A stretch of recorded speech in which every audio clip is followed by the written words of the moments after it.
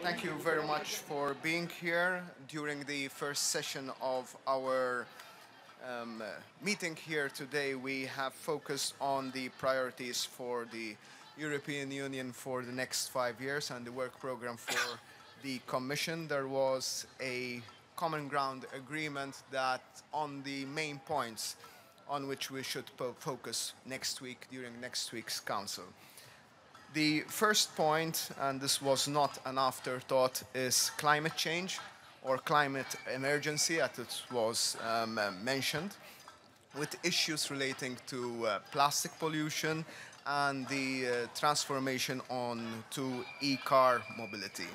We focused a lot on the economic pillar, but also on the social pillar, with the idea of discussing amongst ourselves, but also at European level, a minimum wage, a European minimum wage. We uh, have agreed that we will continue to press at European level the issue of migration. The issue of migration, which cannot be decoupled from the uh, reforms and changes to Schengen and to freedom of movement. We have also reiterated that points related to Africa and African policy should not be only related to migration, but Africa needs to be taken within a global context. Finally, we have made it very clear that we are giving our total support to our Cypriot friends on the recurrent issues and that this support is unwavering. So with this, I think the first intervention should come from the Cypriot president. Thank you very much. Ε, ευχαριστώ πολύ, ε, αγαπητέ Τζόζεφ. Πριν από την οποία άλλη αναφορά θα ήθελα να εκφράσω τις θερμές μου ευχαριστίες για τη φιλοξενία που μας επιφύλαξες, αλλά και να σε συγχαρώ για την άψογη διοργάνωση της ε, συνόδου αυτής.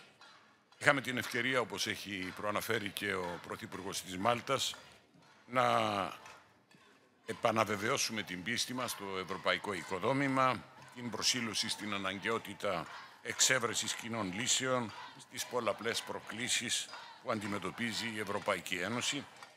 Στόχος και επίκεντρο όλων μας παραμένει πάντοτε ο Ευρωπαίος πολίτης, η ευημερία και η ασφάλεια του. Η Σύνοδος της Βαλέτας αποτελεί την πρώτη ουσιαστικά μεταξύ των επτά κρατών συνάντηση μετά της ε, νεολοκλήρωση των πρόσφατων εκλογών για το Ευρωπαϊκό Κοινοβούλιο. Την συζήτησή μας ε, με τους φίλους ηγέτες απασχόλησαν επίσης ε, περ- τα εκλογικά κυρίως μηνύματα που προκύπτουν ως αποτέλεσμα των επιλογών των πολιτικών και τους τρόπους υλοποίησης. Συνεπώς η στρατηγική ατζέντα ήταν ένα σημαντικότατο, ένα εκ των σημαντικών σημείων τα οποία συζητήσαμε.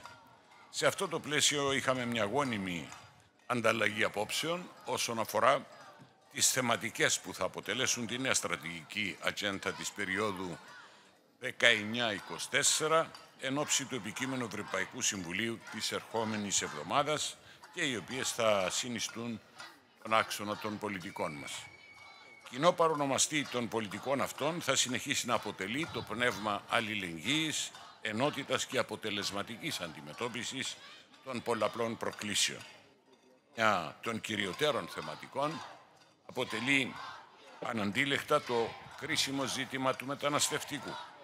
Οι χώρες μας ως κράτη-μέλη της πρώτης γραμμής καλούνται καθημερινά να διαχειριστούν πρωτόγνωρες μεταναστευτικές ροές. Από το πρίσμα αυτό επαναβεβαιώσαμε την βούληση μας για συλλογική προσπάθεια, συνεργασία, ενότητα και κυρίως έμπρακτη αλληλεγγύη στο κρίσιμο αυτό θέμα. Πρόσθετα επαναλάβαμε την δέσμευσή μας για την πρόθεση της εμβάθυνσης της Οικονομικής και Νομισματικής Ένωσης καθώς και της ολοκλήρωσης της Τραπεζικής Ένωσης. Τη Σύνοδο σαφώς απασχόλησε ειδικότερα υπό την σκιά των αρνητικών επιπτώσεων που ήδη αντιμετωπίζει η ευρύτερη περιοχή της Μεσογείου, το κύριο δηλαδή ζήτημα της κλιματικής αλλαγής. Επιβεβαιώσαμε εκ νέου την δέσμευσή μας για μια μακροπρόθεσμη αλλά και φιλόδοξη στρατηγική της Ευρωπαϊκής Ένωσης με ορίζοντα το 2050 που θα λαμβάνει υπόψη τις ιδιαιτερότητες των κρατών μελών ε, για μείωση των εκπομπών αερίων θερμοκηπίου βάσει της Συμφωνίας των Παρισίων. Σε αυτό το σημείο θα ήθελα να ευχαριστήσω ιδιαίτερα τους φίλους ηγέτες ε, της σημερινής Συνόδου για την σταθερή στήριξή τους σχετικά με το αναφέρετο δικαίωμα της Κυπριακής Δημοκρατίας να ασκεί τα κυριαρχικά της δικαιώματα εν, και εντός της αποκλειστικής της οικονομικής ζώνης και ιδιαίτερα την ομόφωνη, αν θέλετε, έκφραση απαρέσκειας και καταδίκης της παραβίασης του διεθνούς δικαίου και του δικαίου της θάλασσας από πλευράς Τουρκίας. Είχα την ευκαιρία να ενημερώσω τους φίλους ηγέτες για τις συνεχιζόμενες προκλητικές ενέργειες της Τουρκίας που δυστυχώς κλιμακώθηκαν τις τελευταίες εβδομάδες με πρωτοφανείς παραβιάσεις του διεθνούς και ευρωπαϊκού δικαίου αλλά και του δικαίου της θάλασσας. Συμπεριφορές από όλους τους καταδικαστές, άκρος αντίθετες ως προς τις αρχές και τις αξίες της Ευρωπαϊκής Ένωσης, ιδιαίτερα αν αναλογιστεί κανένας ότι η παραβιάζουσα χώρα δεν είναι άλλη από την Τουρκία, η οποία είναι και υποψήφια προς ένταξη χώρα. Εκφράζω για άλλη μια φορά την βαθιά ευγνωμοσύνη μου προς τους φίλους ηγέτες για την στήριξη και την αλληλεγγύη όσον αφορά τις τουρκικές προκλήσεις. Στόχος η Ευρωπαϊκή Ένωση και οι εταίροι μας να αξιοποιήσουν όλα τα διπλωματικά μέσα και επιρροή προκειμένου να τερματιστούν άμεσα οι έκνομες αυτές ενέργειες.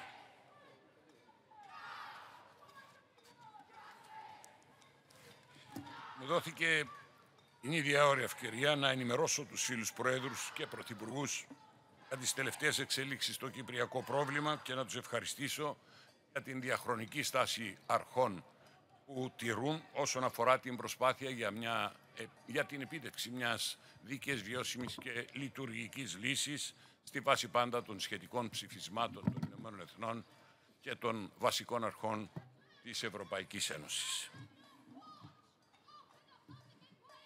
Παρά τα όσα συμβαίνουν στην ε, Κυπριακή ή στην αποκλειστική ζώνη της Κυπριακής Δημοκρατίας, παρά τις προκλητικές ενέργειες, θέλω να επαναλάβω την αποφασιστικότητα μας για την δημιουργία εκείνων των συνθηκών που θα μας επιτρέψουν μέσα από τον διάλογο να εξεύρουμε μια μόνιμη, βιώσιμη, όπως είπα και προηγούμενα, λειτουργική λύση.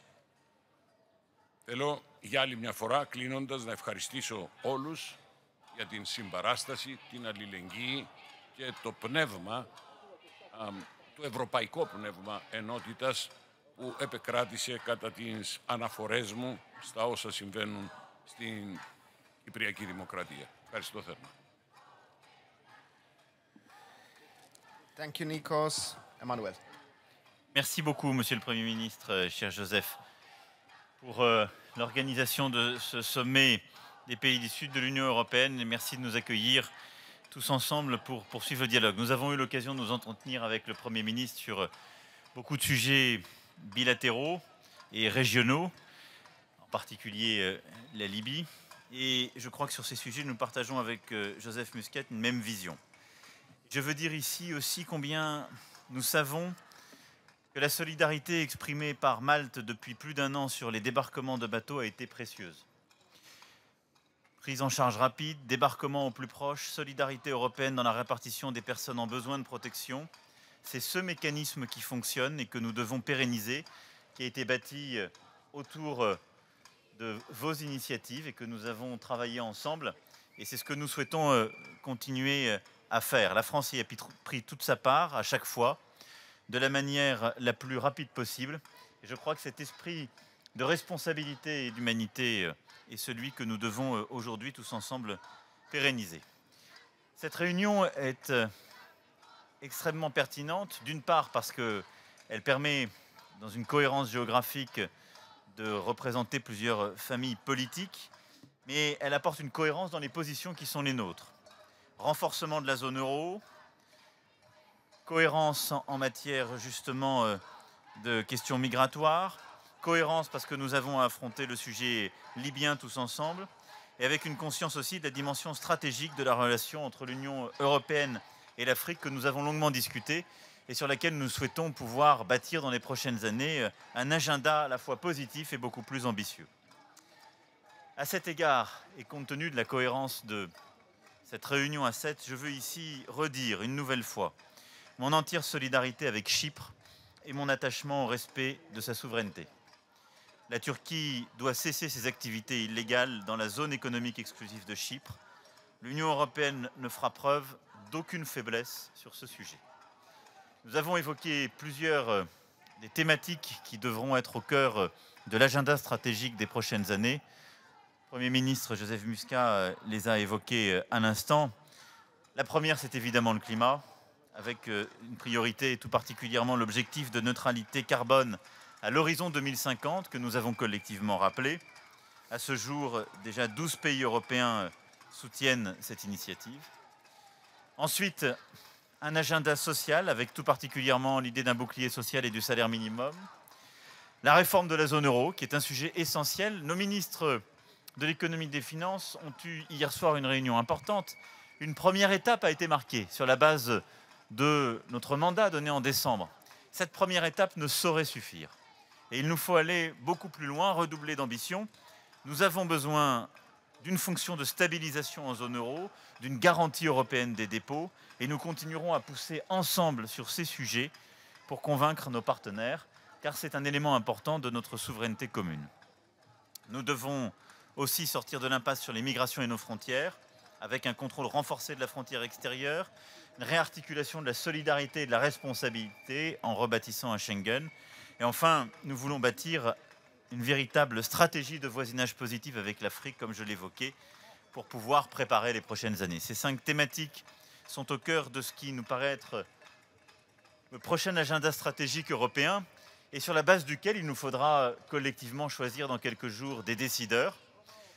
Ces derniers doivent avant toute chose répondre à des règles de pluralisme politique, de parité, pour les quatre principaux postes politiques que nous aurons à nommer, nous y tenons, mais également porter cette vision commune qui est euh, la nôtre et qui est, je crois, l'agenda des prochaines années pour notre Europe. En tout cas, merci, Monsieur le Premier ministre, pour votre accueil, l'organisation euh, de cet échange que nous allons poursuivre dans un instant. Merci. Alexis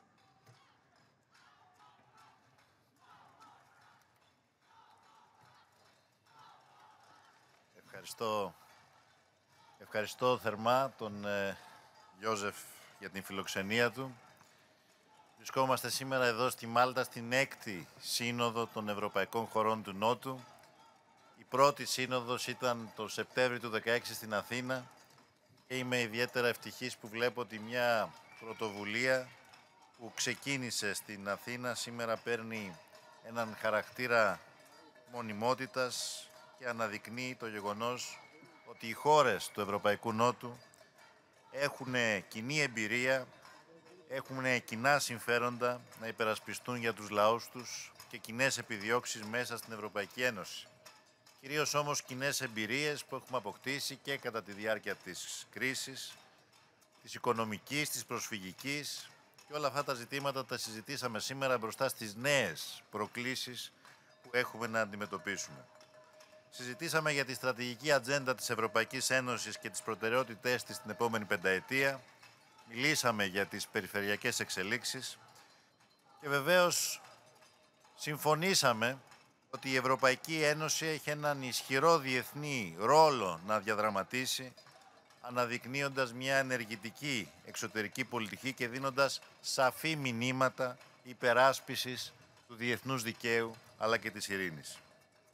Αυτό το πλαίσιο βεβαίως αποτέλεσε σημαντικό μέρος της συζήτησής μας σήμερα οι εξελίξεις που αφορούν τις παραβατικές ενέργειες της Τουρκίας στην αποκλειστική οικονομική ζώνη της Κυπριακής Δημοκρατίας. Φράσαμε την πλήρη στήριξή μας στον ε, Νίκο Αναστασιάδη και βεβαίως συμφωνήσαμε ότι το ζήτημα αυτό δεν αποτελεί ένα διμερές ζήτημα της Κύπρου και της Τουρκίας. Ενδεχομένως και τα ζητήματα που προκύπτουν στις σχέσεις Ελλάδας-Τουρκίας δεν είναι διμερεί ζητήματα. Είναι ευρωτουρκικά ζητήματα και έτσι πρέπει να τα αντιμετωπίζουμε.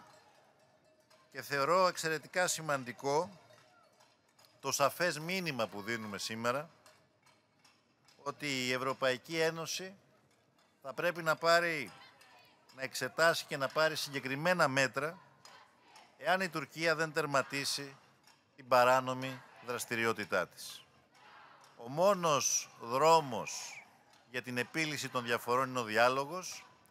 Εμείς υποστηρίζουμε ως μόνο δρόμο τη συνεργασία και την επιδίωξη της σταθερότητας στην Ανατολική Μεσόγειο και άρα βασικός πυρήνας της δικής μας αντίληψης είναι ο σεβασμός του διεθνούς δικαίου. Και όποιος δεν σέβεται το διεθνές δίκαιο θα πρέπει να γνωρίζει ότι θα υφίσταται συνέπειες.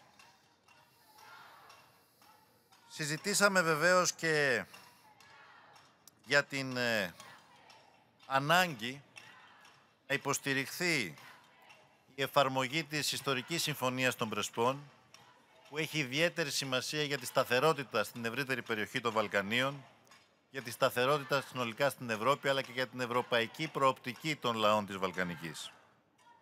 Στο πλαίσιο αυτό υποστήριξα την ταχεία έναρξη ενταξιακών διαπραγματεύσεων για την ε, γειτονική μας χώρα, για τη Βόρεια Μακεδονία στην Ευρωπαϊκή Ένωση, αναγνωρίζοντας με αυτόν τον τρόπο τις σημαντικές μεταρρυθμιστικές της προσπάθειες. Τη θέση αυτή θα επαναλάβω και στην ε, Σύνοδο Κορυφής της, ε, στη μεθεπόμενη εβδομάδα. Πρέπει να δώσουμε ένα ισχυρό μήνυμα, ένα θετικό μήνυμα στους λαούς των Βαλκανίων που προχωρούν με τόλμη, επιχειρούν μεταρρυθμιστικές προσπάθειες και ταυτόχρονα ένα ισχυρό μήνυμα αντίστασης στον εθνικισμό. Και βεβαίως πιστεύω ότι αυτός είναι ο δρόμος για όλες τις χώρες των Βαλκανίων, αλλά ταυτόχρονα θα πρέπει να εξετάσουμε κάθε μία ξεχωριστά σε σχέση με την πρόοδο που καταφέρνει να επιδείξει. Θα ήμασταν ευτυχείς λοιπόν αν και η Αλβανία μπορούσε να προχωρήσει σε αυτή την πορεία, να προχωρήσει σε περισσότερες και ουσιαστικότερες μεταρρυθμίσεις. Συζητήσαμε επίσης σήμερα το προσφυγικό και το μεταναστευτικό και τονίσαμε ότι πρέπει να αντιμετωπιστεί μέσα από το πρίσμα της αρχής της αλληλεγγύης και του διαμερισμού της ευθύνης και όχι μέσα από μια αντίληψη που επιρρύπτει τις ευθύνες στις χώρες, ε, στις χώρες πρώτης εισόδου. Και γι' αυτό τονίσαμε όλοι ότι χρειάζεται ένα νέο κοινό ευρωπαϊκό σύστημα ασύλου και ενός ε, ευρωπαϊκού μηχανισμού επιστροφών. Κουβεντιάσαμε για την ανάγκη να ενισχυθεί ο λεγόμενος κοινωνικός πυλώνας, την ανάγκη να προχωρήσουμε σε άμεσα μέτρα για την κοινωνική και γεωγραφική σύγκληση στην Ευρωπαϊκή Ένωση, να ολοκληρώσουμε την Τραπεζική Ένωση με τη δημιουργία ενός Ευρωπαϊκού Συστήματος Εγγύησης Καταθέσεων, να καταπολεμήσουμε τις κοινωνικές ανισότητες μέσω της δημιουργίας ενός Ευρωπαϊκού Ταμείου για την καταπολέμηση της ανεργίας. Και αυτή είναι μια πάρα πολύ σημαντική κοινή θέση. Η άποψη δηλαδή ότι πρέπει να υπάρχει ένα επίπεδο προστασίας για τους νέους, τους εργαζόμενους, τους άνεργους στην Ευρώπη. Ένα κοινό ταμείο ανεργίας και ένας κοινός κατώτατος μισθός για τους Ευρωπαίους εργαζόμενους. Τέλος, συζητήσαμε διεξοδικά για την κλιματική αλλαγή, για το πολύ θετικό μήνυμα που λάβαμε από τους Ευρωπαίους πολίτες που ευαισθητοποιούνται στα ζητήματα της προστασίας του περιβάλλοντος, ιδιαίτερα από τους νέους και τις νέες. Αυτή η ευαισθητοποίηση των Ευρωπαίων πολιτών πρέπει να είναι εντολή σε όλους εμάς, τις κυβερνήσεις της Ευρωπαϊκής Ένωσης, ώστε η επόμενη πενταετία να είναι μια πενταετία που θα τεθούν σε προτεραιότητα ζητήματα του περιβάλλοντος και της προστασίας της ποιότητας της ζωής μας. Σε αυτό το πλαίσιο θα πρέπει να συνεχίσουμε να τηρούμε τους στόχους της Συμφωνίας των Παρισίων.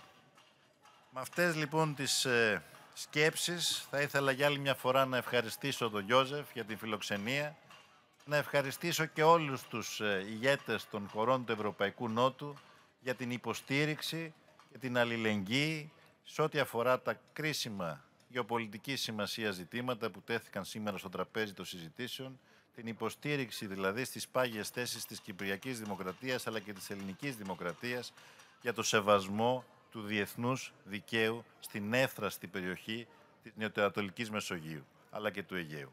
Με αυτές λοιπόν τις σκέψεις για άλλη μια φορά ευχαριστώ θερμά για τη φιλοξενία. Thank you to you, Alexis, particularly for the fact that you were the first to come out with this idea in Athens. Antonio? Boa tarde. Queria começar por agradecer ao Primeiro-Ministro José Muscat o acolhimento que deu a mais esta cimeira dos países do Sul. Quero começar por expressar a total solidariedade de Portugal relativamente a Chipre, a prioridade que significa defender o direito internacional em todas as circunstâncias e os direitos soberanos de Chipre a explorar e gerir os seus recursos naturais. O valor da solidariedade é um valor fundador da União Europeia e que tem que valer de forma transversal. É o valor de solidariedade que expressamos hoje a Chipre, como expressamos sempre aos países bálticos, sempre que há uma ameaça à sua soberania é o valor que expressamos na visão que temos sobre a política das migrações e o dever que todos temos de partilhar solidariamente com os países da linha da frente a obrigação internacional da União Europeia de assegurar proteção internacional a quem ela carece. É o valor da solidariedade que funda a defesa e a prioridade da política de coesão. É o dever de solidariedade que devemos manifestar quando algum dos nossos países, alguma das nossas cidades, alguma das nossas regiões sofre uma catástrofe natural. É o valor da solidariedade que nós precisamos relativamente à Irlanda nas negociações difíceis que são mantidas em torno do Brexit.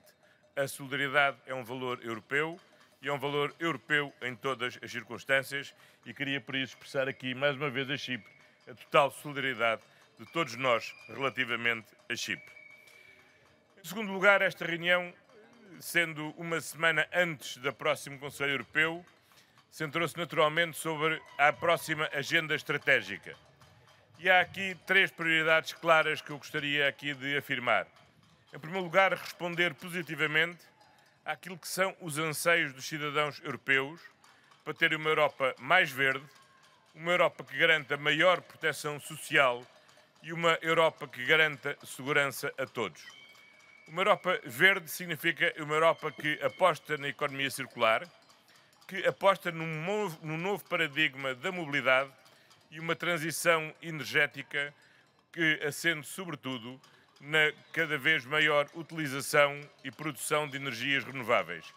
E para que isso aconteça, é fundamental completarmos o mercado único da energia e assegurar a devida interconexão entre todos para que os custos das energias renováveis e os benefícios das energias renováveis possam também ser solidariamente partilhados por todos.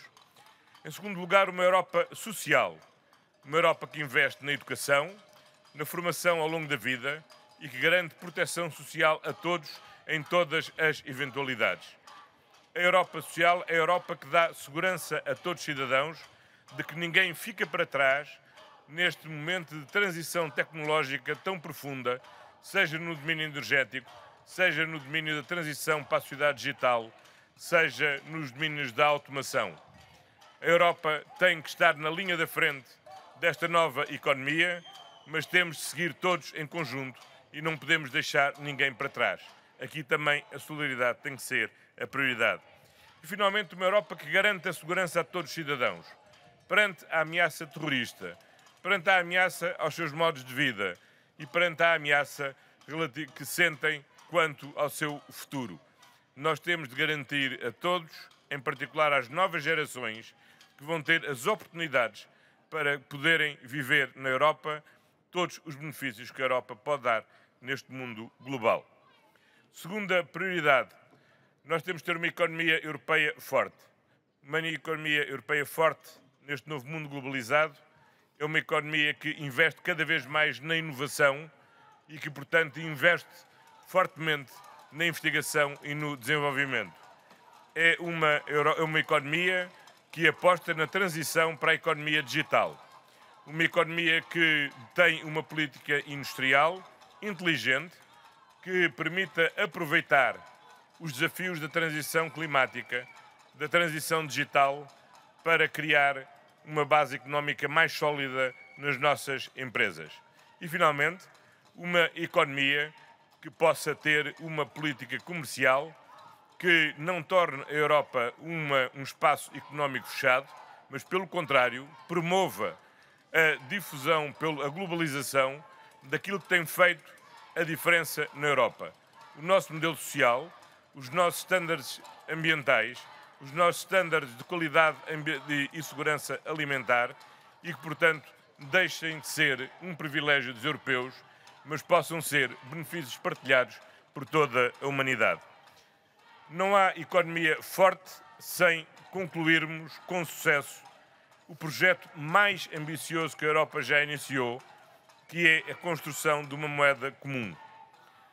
Nós temos que estamos hoje melhor preparados do que estávamos em 2008 e em 2011, mas é fundamental que não desperdicemos a oportunidade que ainda temos de concluir a tempo a União Económica e Monetária. Na próxima semana podemos dar já um passo muito importante para concretizarmos uma capacidade orçamental da zona euro que financie o esforço para a convergência e para a melhoria da competitividade. Mas temos de prosseguir, concluindo a União Bancária e designadamente o mecanismo de garantia de depósitos o backstop para os fundos de resolução, de termos um novo ESM e, sobretudo, podermos ter um mecanismo de estabilização que possa ser eficaz perante uma crise que não desejamos, mas que não podemos eliminar os riscos de um futuro vir a existir. Terceira e prioridade, e não menos importante, nós, esta agenda estratégica tem de prever a ambição de termos tão rapidamente quanto possível, uma, uma parceria estratégica com o continente africano para o século XXI. A África é o nosso vizinho mais próximo.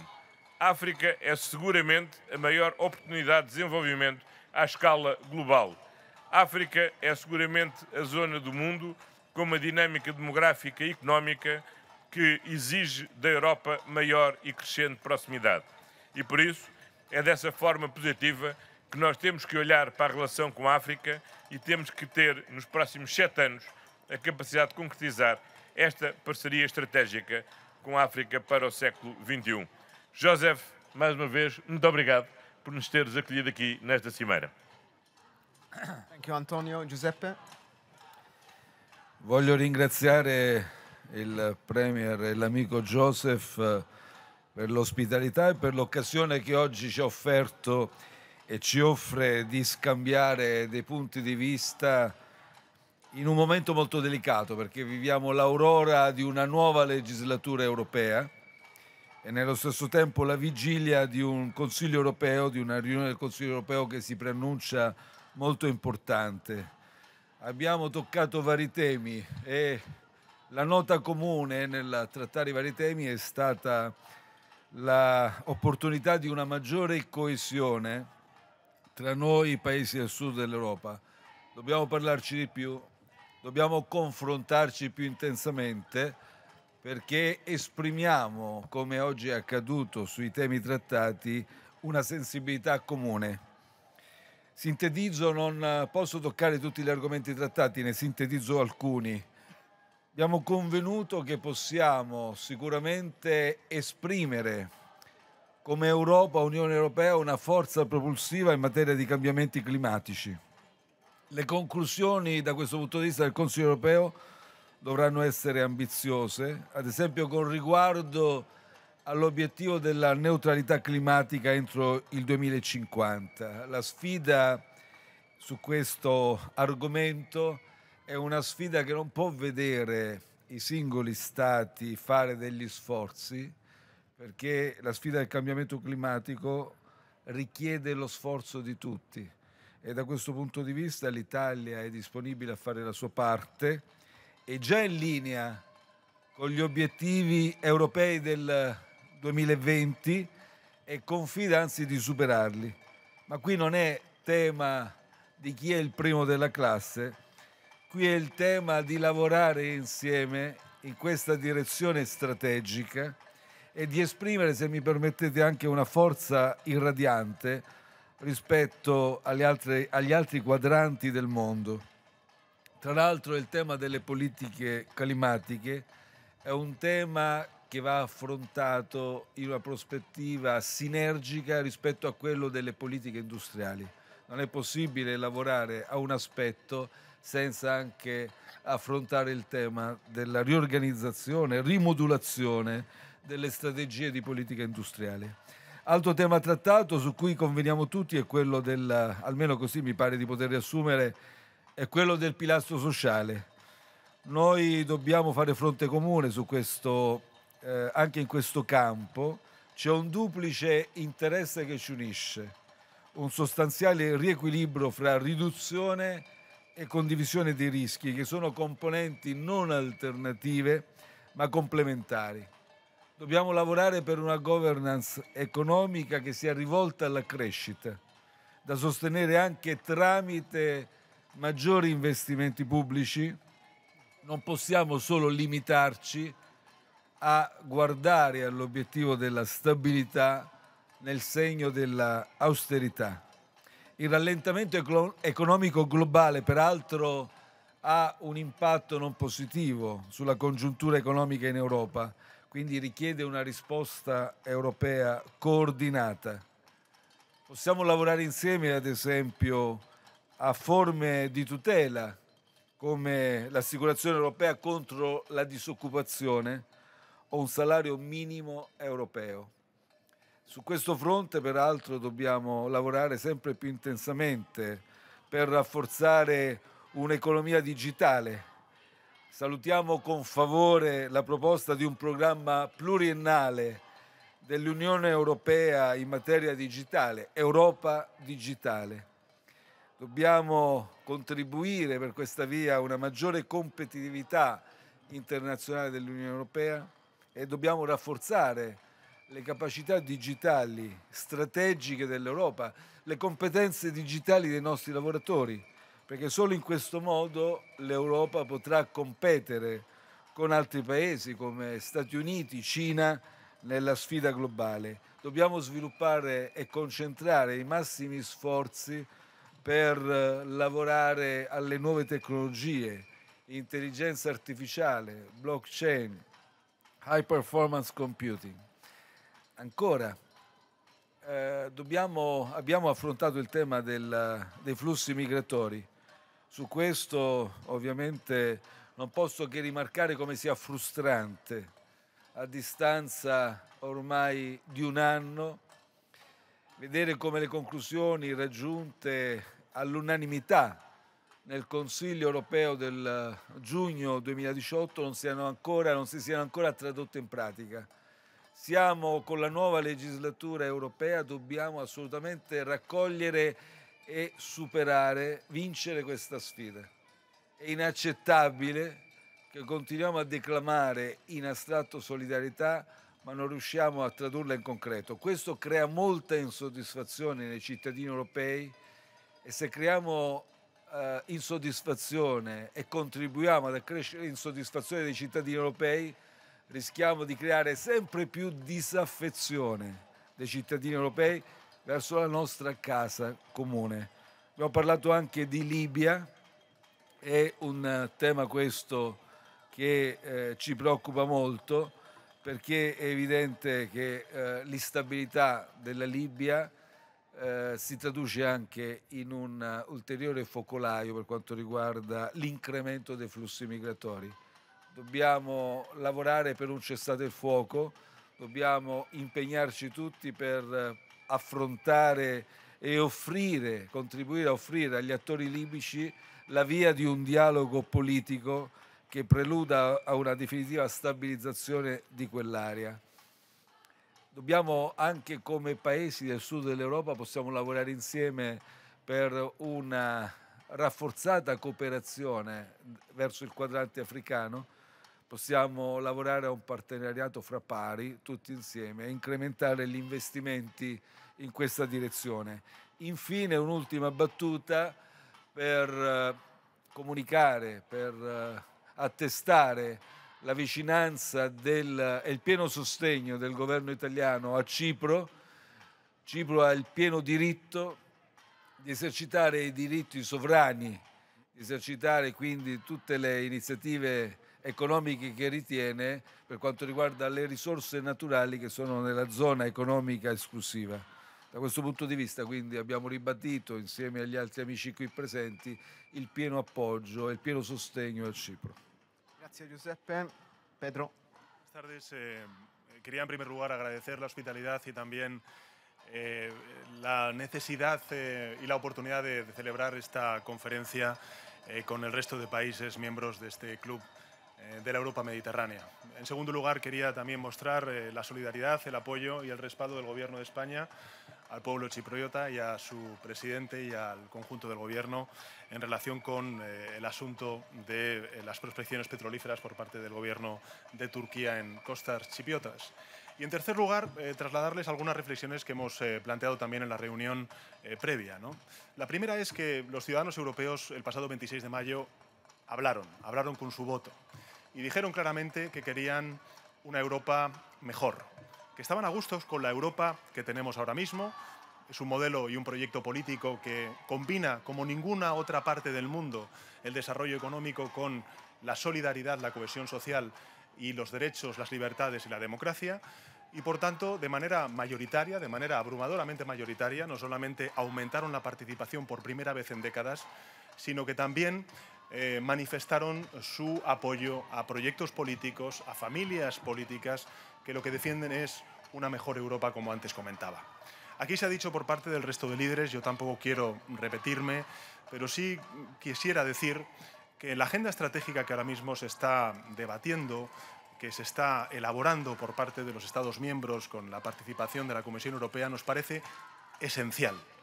Antes de hablar de las personas que van a liderar durante los próximos cinco años la Comisión Europea, el Consejo, el Parlamento Europeo y la alto representante de la Unión Europea, lo que tenemos es que hablar de contenidos. Y los contenidos para el Gobierno de España aquí han sido desplegados por parte del conjunto de líderes que nos acompañan. El primero de ellos tiene que ver con la emergencia climática. Yo creo que ya tenemos que empezar a hablar de emergencia climática, sobre todo cuando estamos hablando entre países mediterráneos sobre todo cuando estamos viendo el nivel de polución, el nivel de pauperización del Mediterráneo, el mar que nos acoge y que compartimos todos los países que estamos aquí presentes. En la declaración ustedes podrán ver no solamente el compromiso de todos los gobiernos que estamos aquí presentes con la protección de nuestro medio ambiente, con la transición ecológica de nuestra economía, con la necesidad de que el próximo presupuesto europeo cuente con más recursos involucrados en la lucha y en la mitigación del cambio climático y la adaptación, sino que también hablemos de aprobar directivas que impulsen la estrategia de la economía circular en la Unión Europea o también directivas que impulsen el uso del plástico de una sola utilización. En definitiva, lo que les quiero decir con esto es que la transición ecológica tiene que ser uno de los principales, si no el principal pilar de esa agenda estratégica que despleguemos los próximos cinco años eh, a nivel comunitario. Ahí están los acuerdos de París, ahí están también eh, las estrategias que estamos desarrollando cada uno de los países, ahí está también el nivel de interconexiones al cual antes hacía referencia mi colega ibérico, el eh, primer ministro de Portugal, que es tan fundamental también con el gobierno de Francia. En definitiva, quiero decirles que desde luego nos parece fundamental y sobre todo a la gente joven del continente europeo, los gobiernos europeos estamos empeñados, estamos comprometidos con la transición ecológica. La segunda tiene que ver con la revolución tecnológica, con la revolución tecnológica. Eso va a afectar al modelo educativo de nuestros hijos y nuestras hijas. Eso va a afectar también a la forma en la que nos relacionamos con eh, los ciudadanos y ciudadanas a través de nuestras administraciones. Eso va a afectar también a industrias que son motoras ahora mismo de nuestros sectores productivos en cada una de las economías. Y en definitiva, también en ese nuevo presupuesto comunitario que vamos a tener para los próximos cinco años, tenemos que apostar decididamente por la digitalización y tenemos que hacerlo además a nivel europeo, porque las economías de escala son fundamentales si queremos competir de igual a igual con otras superpotencias como pueda ser la China o como pueda ser Estados Unidos. La tercera tiene que ver, lógicamente, con algo que ha comentado el presidente de la República Francesa, que es la Europa social. La Europa social. Nosotros queremos desarrollo económico, queremos competitividad, pero tenemos también que redistribuir esos niveles de riqueza. La disparidad de riqueza que ahora mismo existe entre las capas más altas de la sociedad y las capas, medianas y bajas de la sociedad es absolutamente inaceptable. Desde el punto de vista de los gobiernos que aquí estamos presentes, hablar de un salario mínimo interprofesional a nivel comunitario nos parece esencial. Hablar de la función estabilizadora de un presupuesto de la zona euro que tiene que ver la luz en este mandato. Y, por cierto, con una mayor uh, contundencia en cuanto a los recursos de lo que hemos visto ayer en el acuerdo que se logró por parte de los ministerios de Economías y de Finanzas del Eurogrupo. Creemos que la próxima semana que vamos a tener la ocasión de poder hablar sobre esta cuestión, al menos el Gobierno de España no solamente va a defender la estabilización, la capacidad de estabilización de ese presupuesto de la zona euro, sino que también tendremos que hablar de cómo podemos nutrir de mayores recursos ese potencial presupuesto de la zona euro, que es fundamental, sobre todo para luchar eh, contra hipotéticas y potenciales crisis que podamos tener en el futuro. Y finalmente, y no me quiero extender más porque aquí se ha dicho ya eh, todo, eh, el último de, los, de las cuestiones tiene que ver con África. Nosotros somos un país, España, que tenemos una costa a una distancia de 15 kilómetros de Marruecos, del norte de África. Por tanto, sabemos muy bien los retos que representa, lógicamente, África para el continente europeo. Retos que, como bien ha dicho antes el presidente, o mejor dicho, el primer ministro portugués, son oportunidades. Oportunidades. Y así tenemos que ver al continente africano. Sin duda alguna, yo creo que no podemos hablar solamente de África para acordarnos de cómo luchar contra la migración irregular, sino que tenemos que hablar de África como un continente de oportunidades con los cuales tenemos que estrechar relaciones. Nosotros desde el Gobierno de España lo estamos haciendo con Marruecos, así viene eh, recogido también en la declaración que hoy vamos a aprobar los distintos gobiernos que estamos aquí presentes, pero en definitiva creemos que desde el punto de vista de la Unión Europea tenemos que volcar muchos más recursos, mucha más inteligencia política con un continente con el cual podemos compartir muchísimas oportunidades.